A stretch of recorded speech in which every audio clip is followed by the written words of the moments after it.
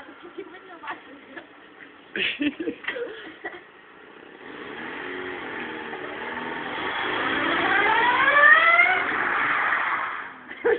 gonna go in there.